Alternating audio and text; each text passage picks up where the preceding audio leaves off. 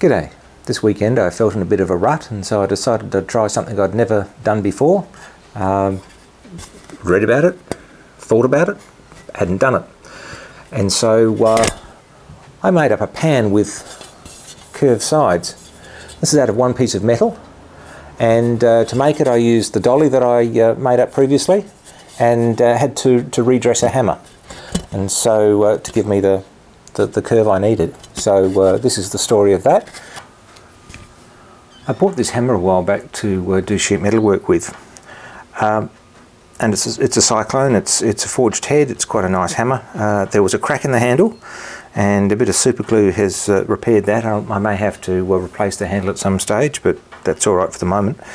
However, the, the, the biggest problem, well, there's two problems with the hammer. One of them is that the faces on the ends here um, have been, looks like they've been used on nails and other things as well, so just as a general hammer.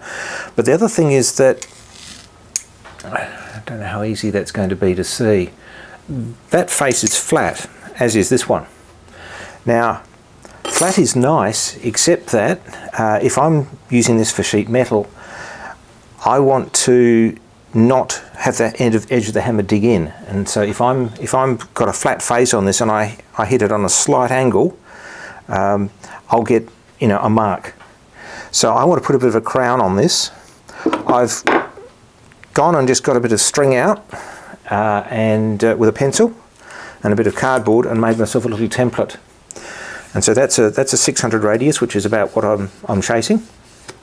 And so now I'm I'm going to uh, try and just sort of finish up this hammerhead so that not only is the head um, got a, a, bit of a crown to it, but also the uh, it's it hasn't got the dings and things like that in it because with uh, with sheet metal work uh, the smoother the hammer and the dollies that you're using the smoother the finish on the metal will be. If I've got a whole bunch of pits in that when I strike the metal on that the metal is going to try and get into that and so I'll have a pitted or uh, the reverse of a pitted appearance on the on the, the, the, the metal this is the setup I'm using to get that uh, radius at least approximately on the face of the hammer here.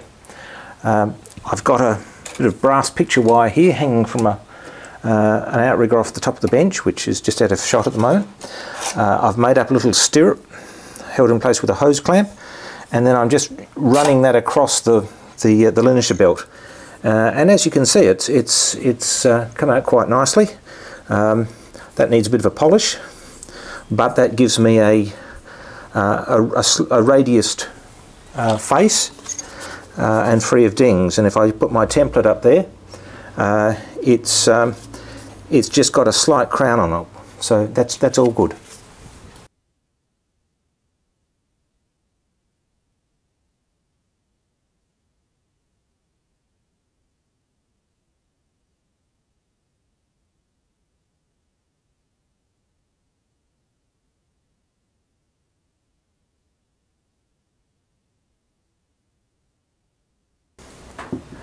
I've, I've got the general crown that I want on the on the hammer face or a roundabout.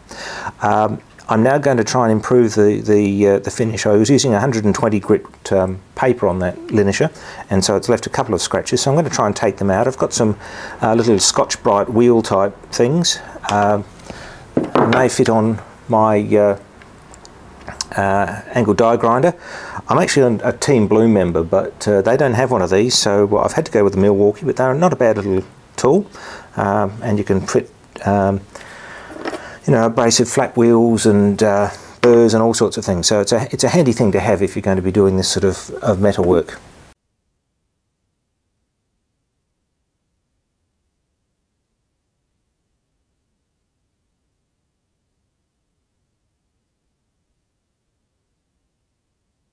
For those wondering why bother polishing the, the face of a hammer, um, for, should we say, metal, sheet metal work, particularly where you want a smooth finish, uh, it becomes very important. This end here of this sheet, I've just hammered over my dolly with the, uh, the, the, polish end of the, the hammer. Um, so this is just after polishing. And you can see it's quite, it's quite shiny. Uh, it doesn't take much to. Well, I just run over that with a with a with a rag. It doesn't take much to get that back up to a um, you know a reasonable finish. This end, I used my um, well, my claw hammer, my woodworking hammer, and you can see that that's that's got a, a, a definite loss of, of sheen there. Um, you can feel a difference. Well, I can feel a difference. You probably can't, uh, but you know it's one of those things that the smoother that hammer is, the less imperfections you're going to be putting into that sheet metal. So, uh, polishing hammers, if you're going to be doing sheet metal work, uh, particularly on things like uh, aluminium and so on, where you where you might just want to have it uh, polished rather than having it, you know, bogged and, and painted, uh, it it helps to have a have a, a polished uh, hammer face and a polished dolly for that matter. I've just cut my blank out. Uh, it's basically the, the, the, size of the base plus an allowance for uh, a quarter of the circumference of the, uh, the curve that's going to be happening there. Um, this sheet had a bit of rust on it and so I marked it out and so I've got my mark out spots there. Then I cleaned it up. The, the, simple reason for that is that the rust provides a nice surface rust anyway provides a nice contrast to the um, to the scribed line, so it makes it a bit easy to see. If I hadn't done that, I would have had to to blue that up. But uh, there it is. Um, just a, a, tip when cutting cutting a corner radii like that, and that doesn't have to be terribly precise because I'm going to have to trim that up later, but with a square corner like that, if you're using shears, cut off the, the, the, tip of the corner and then go around with the shears to follow the curve. Uh, having that extra bit of material there just makes that a bit stiffer and harder to manoeuvre the shears around in a curve. So if you if you take it off, uh, it's just a lot easier to uh, to get that, that curved feature. Here we get to the slow and tedious part of the operation. Um, what I've got to do is, using the dolly here, just work that material up until it gives, give me a nice curve. Now, on the sides, it, it's not a difficult thing to do because you're just bending in one direction, so there's plenty of, of um, uh, room for the material to, to go wherever it wants to go. But on the corners here, if you think about it, this um, you know end or this outer diameter is, is, has got to come back to something like that. And so this material has got to be squished in. And so what I'm doing with the hammer is just gently working that, and so I can I can use some relatively um, you know coarse blows here, but here it's just got to be really kid glove stuff to get that to, to curve round. And you can just see there, there's the start of the curve there, so it's working. So there's a lot more uh, work to go on that. It's going well. I'm slowly working that uh, metal up there.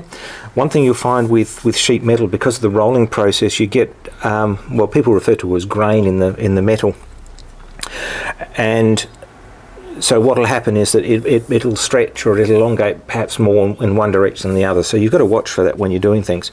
Um, however, the reason I was I was wanted to show you this was was this corner here. You can just see how that that uh, corner is kicked out there. Now, if I kept hammering that, I would get that spiking up probably uh, and buckling and then this, this corner would be ruined. So what I've got now got to do is work that to push that material back into the surrounding uh, material, get it, get it flat. Now, what's going to happen, of course, is that these corners are going to end up a little bit thicker than than the rest of the material. But that's that's what you're doing is you, you're actually you know trying to push that material from where it is to to, to somewhere else. Uh, and and you you know you, you you're gathering it up and so it's got to go somewhere. So it's going to it's going to thicken up. Sometime later and uh, here I am. Um, that's a, a 25 millimeter radius there which is what it, it's, it's ending up like. And you know I'm probably around about two thirds of the way there. Um, when I look at you know what I've got here, I'm starting to get a little bit worried about how much work I'm doing to the to the corners here in particular. So I'm going to give that a bit of an anneal, uh, just basically heat it up to uh, well. It's going to be to red hot basically because I haven't got any other way of, of, of telling this. Um, and uh, I'm hoping that'll take any you know built up stresses out of there so I can I can work it a bit more. Um, the trouble with if you don't do that um, and it fails, it fails catastrophically. You get a split in there and you can't really do anything with it. So uh, better to be safe than sorry. If this was aluminium. Um, I could put coat the inside with soap, and then when I heat it and the soap turns brown, uh, that's that's the, the, the, temperature cue for um, you know aluminium annealing. But uh, for steel, um, I haven't got that, that cue. So I'll just heat it up to red hot in the corners here and uh, let them cool.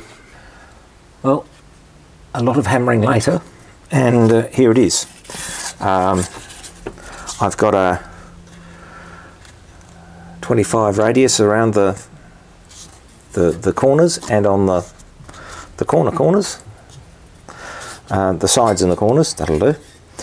Uh, I need to just massage this a little bit. I'm going to weld a, uh, a piece around here to, to, to bring it up to uh, height. But uh, and so I need to massage the sides a little bit to, to do that. But um, there it is, a uh, piece of flat steel, uh, one millimeter thick, taken to a, a form like that with just basically hammer and dolly.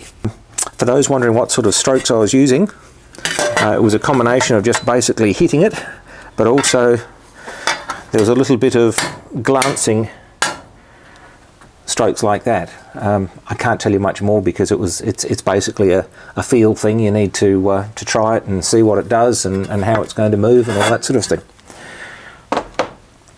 But uh, there we go. Thanks for watching. Hope it's been interesting and uh, please spread the word.